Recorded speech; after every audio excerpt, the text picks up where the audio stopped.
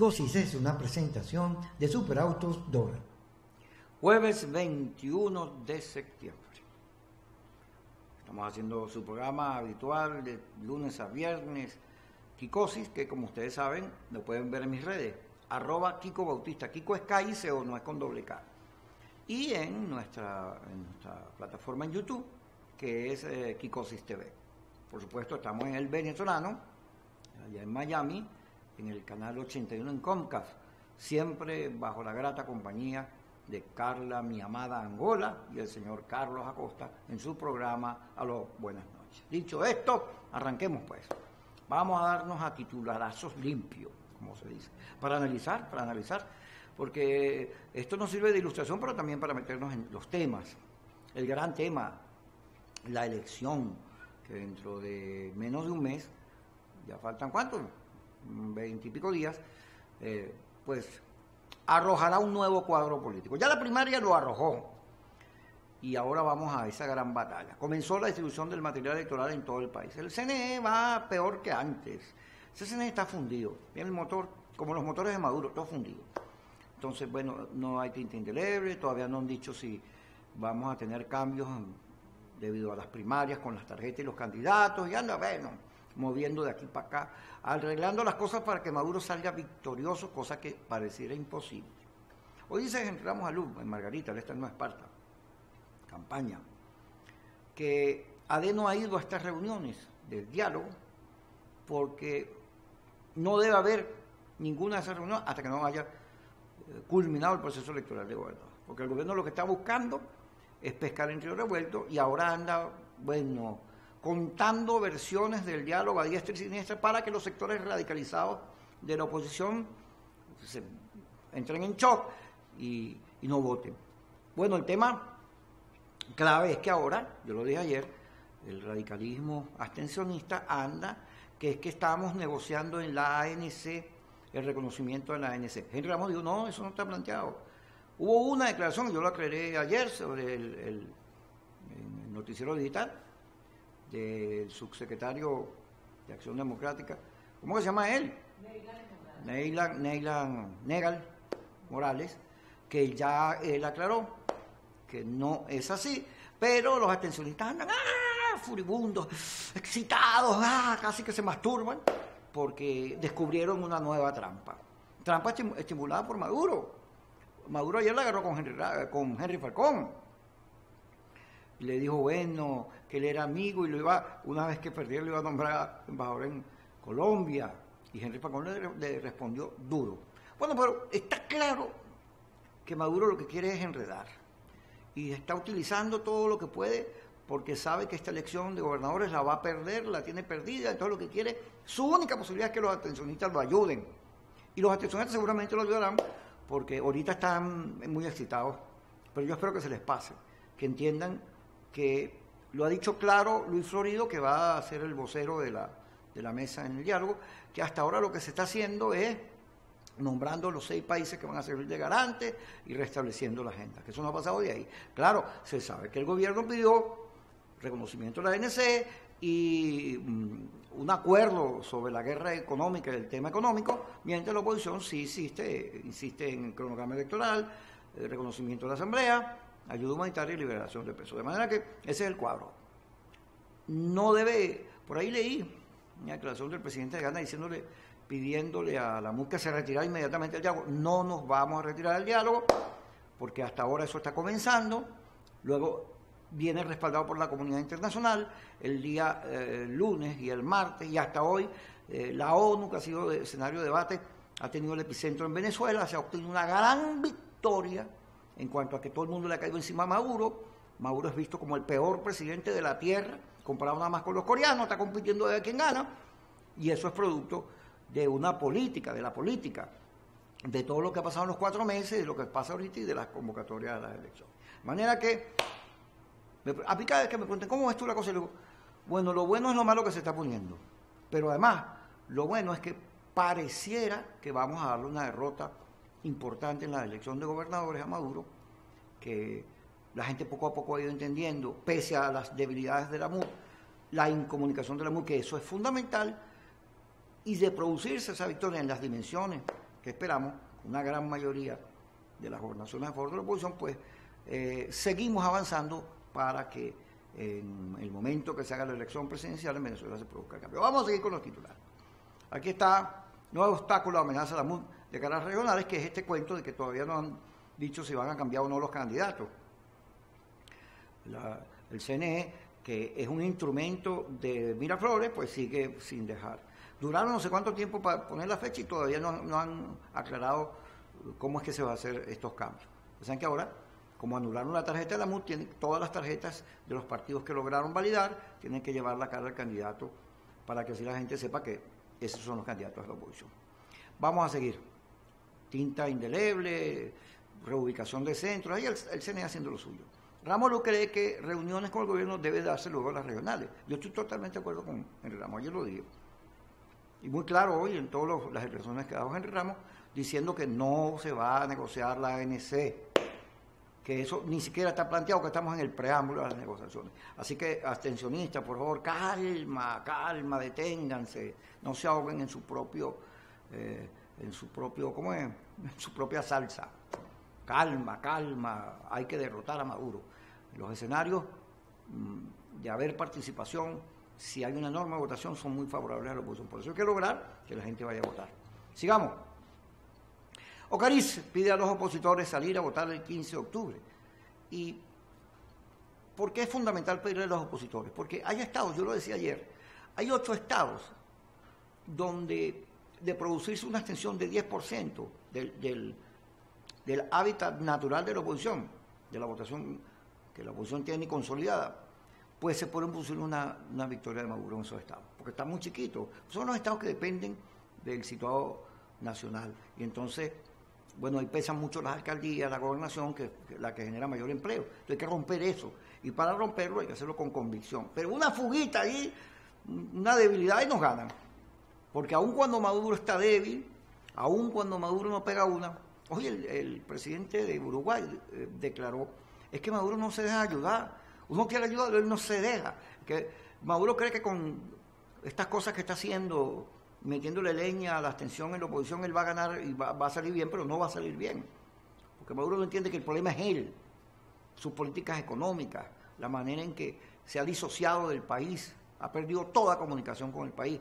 Y entonces sigue inventando fantasmas a ver si alguno de esos lo salva. Bueno, vamos a seguir con nuestro análisis, pero por lo pronto nos vamos al corte y ya estamos con todos ustedes. Somos Superautos Dora, con las mejores ofertas en carros en Miami. Financiamiento para todos, sin social, sin crédito, con tan solo un down bajo. Todos califican. Y ahora con tres meses de garantía. Y tu primer cambio de aceite gratis. Te damos tu garantía por escrito. Ven, estamos en el 5600 Northwest 84 Avenue del Dora. Visítanos en superautosdoral.com 786-953-0871. Si te gusta, te lo llevas.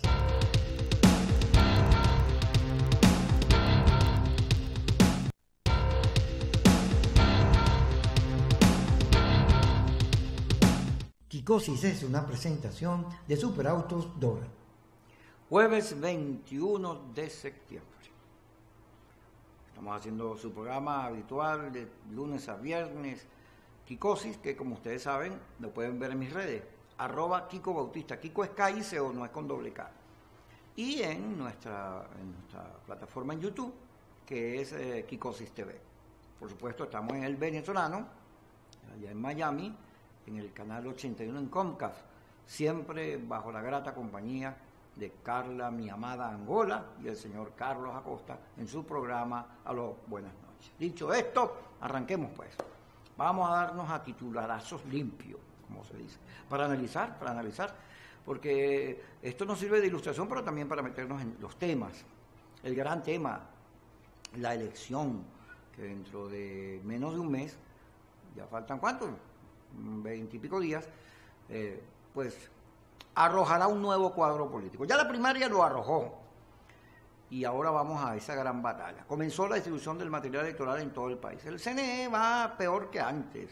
Ese CNE está fundido. Viene el motor, como los motores de Maduro, todo fundido.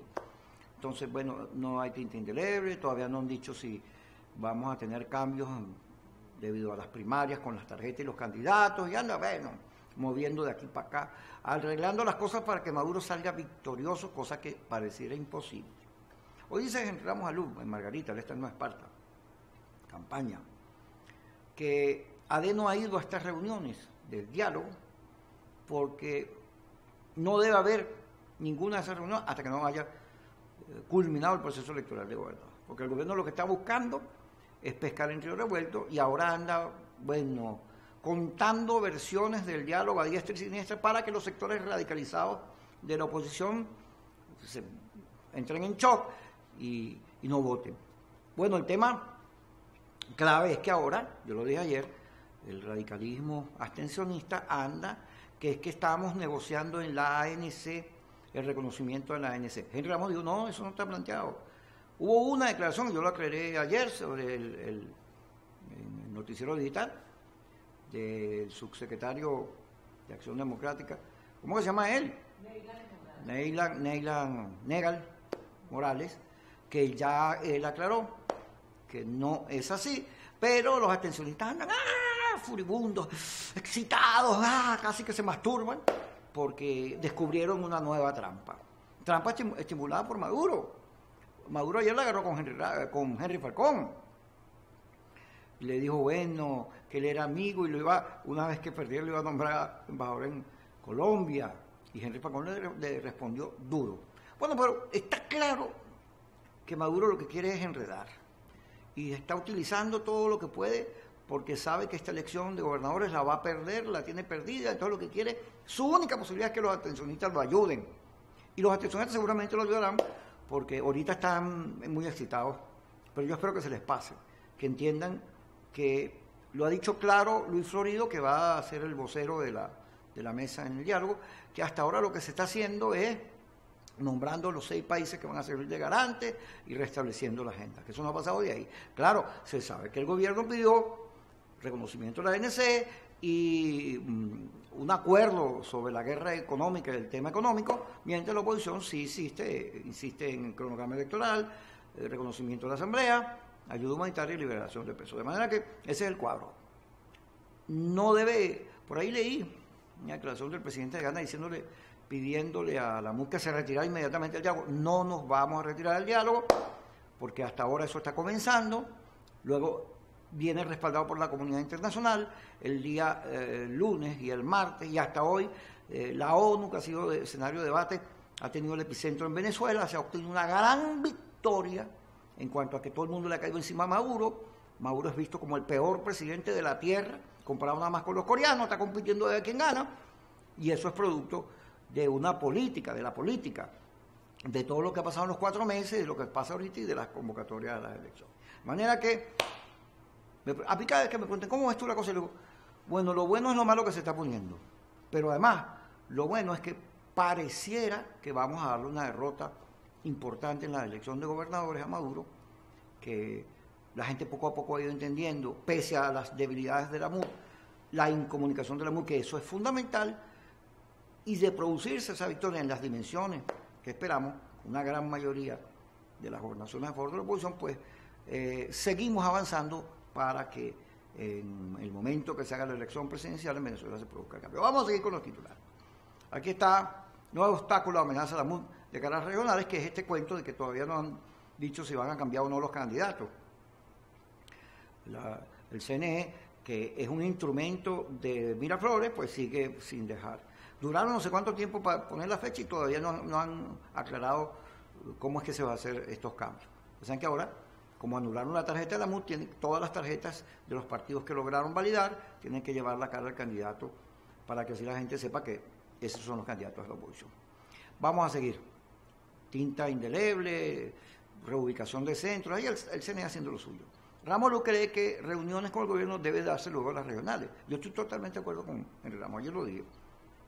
Y muy claro hoy en todas las expresiones que ha dado Henry Ramos, diciendo que no se va a negociar la ANC, que eso ni siquiera está planteado, que estamos en el preámbulo de las negociaciones. Así que, abstencionistas, por favor, calma, calma, deténganse, no se ahoguen en su propio... Eh, en su propio, ¿cómo es? En su propia salsa. Calma, calma, hay que derrotar a Maduro. Los escenarios mm, de haber participación si hay una enorme votación, son muy favorables a la oposición. Por eso hay que lograr que la gente vaya a votar. Sigamos. Ocariz pide a los opositores salir a votar el 15 de octubre. ¿Y por qué es fundamental pedirle a los opositores? Porque hay estados, yo lo decía ayer, hay ocho estados donde de producirse una extensión de 10% del, del, del hábitat natural de la oposición, de la votación que la oposición tiene consolidada, pues se puede producir una, una victoria de Maduro en esos estados, porque están muy chiquitos. Son los estados que dependen del situado nacional. Y entonces, bueno, ahí pesan mucho las alcaldías, la gobernación, que, la que genera mayor empleo. Entonces hay que romper eso. Y para romperlo hay que hacerlo con convicción. Pero una fuguita ahí, una debilidad y nos ganan. Porque aun cuando Maduro está débil, aun cuando Maduro no pega una, hoy el, presidente de Uruguay eh, declaró, es que Maduro no se deja ayudar uno quiere ayudar, él no se deja. Que Maduro cree que con estas cosas que está haciendo, metiéndole leña a la abstención en la oposición, él va a ganar y va, a salir bien, pero no va a salir bien. Porque Maduro no entiende que el problema es él, sus políticas económicas, la manera en que se ha disociado del país, ha perdido toda comunicación con el país. Y entonces sigue inventando fantasmas a ver si alguno de esos lo salva. Bueno, vamos a seguir con nuestro análisis, pero por lo pronto nos vamos al corte y ya estamos con todos ustedes. Somos Superautos Dora, con las mejores ofertas en carros de Miami. Financiamiento para todos sin social, sin crédito, con tan solo un down bajo. Todos califican. Y ahora con tres meses de garantía. Y tu primer cambio de aceite gratis. Te damos tu garantía por escrito. Ven, estamos en el 5600 Northwest 84 Avenue del Dora. Visítanos en superautosdora.com 786-953-0871. Si te gusta, te lo llevas.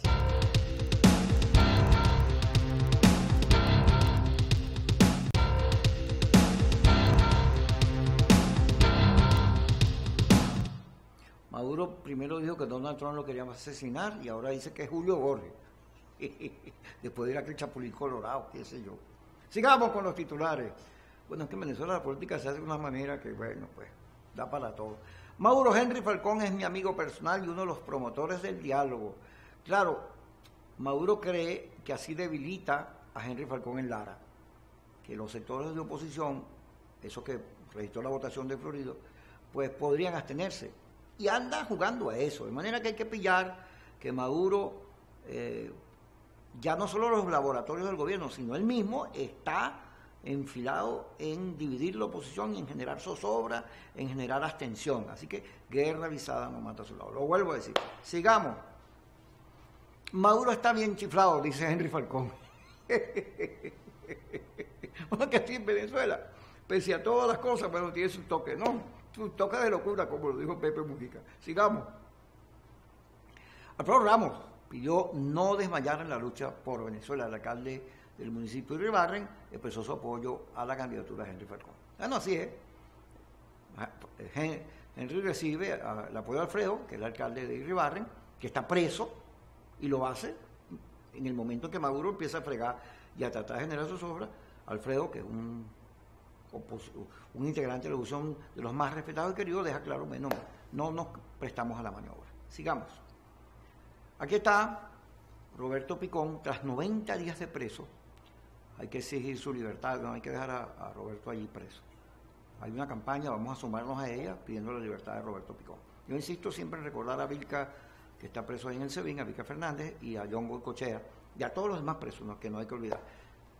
Recordarlo siempre, no podemos bajo ningún concepto olvidarnos de que hay unos héroes, hay unos luchadores presos por dar la pelea. Que la solidaridad siempre es importante porque es una característica de la oposición ser solidario. Sigamos. Venezuela enfrentará una crisis por falta de gasolina, advierte Iván Freites. Él es el dirigente sindical y está un audio en las redes donde él explica qué es lo que está pasando y por qué no tenemos gasolina. Bueno, porque es un gobierno tan desastroso que ni gasolina en un país donde el petróleo es la principal fuente de ingresos. Qué cosas, ¿no? Sigamos. Largas colas se mantienen en el país ante escasez de combustible. Bolívar, Trujillo, Mérida, Margarita, Maracaibo, Táchira, no hay gasolina en ningún lado. Después Maduro dice que la tienen cogida con él. Él la tiene cogida con los venezolanos que te hemos hecho, Maduro, para que permanentemente nos maltrate, hasta ni la gasolina pues puede surtir. Sigamos. Brasil enviará emisarios a Venezuela para evitar más pagos de la deuda. Bueno, que la cosa se le está poniendo fea a Maduro, porque los chilenos, los chinos, los brasileños, todo el mundo, donde nos metimos a hacer negocios, nos están reclamando que paguemos.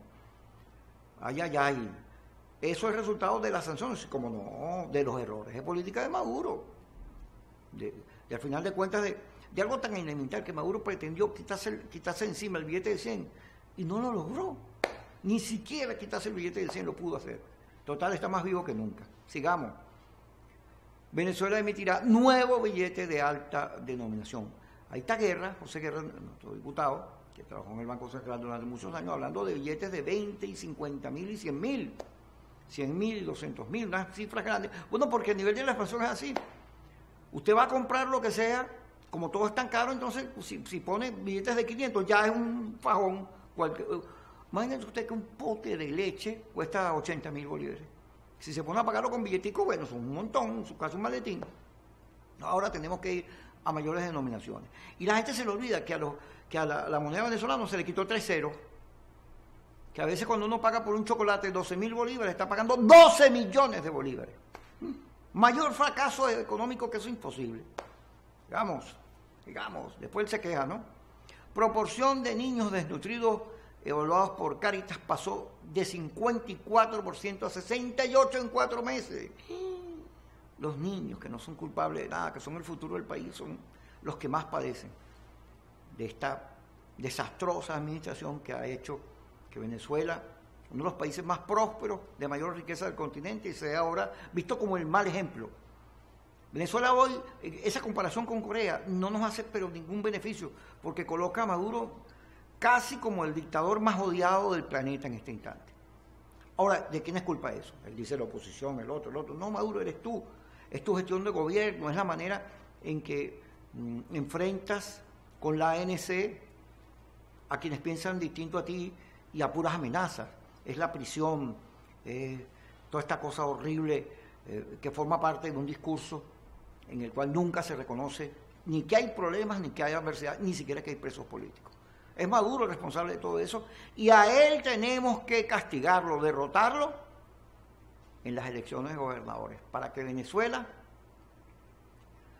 obtenga la ratificación de su mayoría, para que la, comunidad internacional entienda que no estamos hablando ni mintiendo ni hablando paja, sino que estamos diciendo la verdad. Este es un país inviable en manos de esta gente y que hay que buscarle una nueva dirección para sacar el país adelante. Eh, vamos ahora a culminar el programa de hoy, porque nosotros somos talentosos. Este es un país de talento, no solo en la historia con Bolívar, Sucre, Paz, etcétera, o, con, o en la actualidad con nuestros beisbolistas, con Miguel Cabrera o con tantos otros. En Dudamel tenemos uno de los talentos más extraordinarios. Dudamel, a pesar de que Maduro le hizo, le sacó la silla, porque al final se pronunció por, por esta crisis y, dijo qué es lo que pensaba. Pero vamos a ver el mambo de Pérez Prado, para con una nota final agradable, eh, la interpretación que hace Dudamel y la emoción que produce. Así, ese mambo. Así me imagino yo el día que le ganemos a Maduro. Ahí está para ustedes.